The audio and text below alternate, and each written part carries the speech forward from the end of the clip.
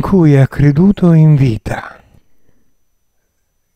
Che cos'è la regione dei cieli? Commento.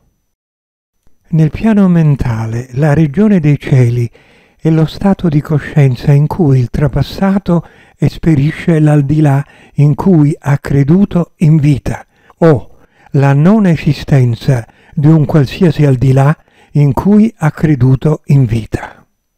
Nel piano astrale, invece, l'individuo esperisce solo ciò in cui ha creduto in vita, tanto che, dopo essere trapassato, continua a credere di non essere morto.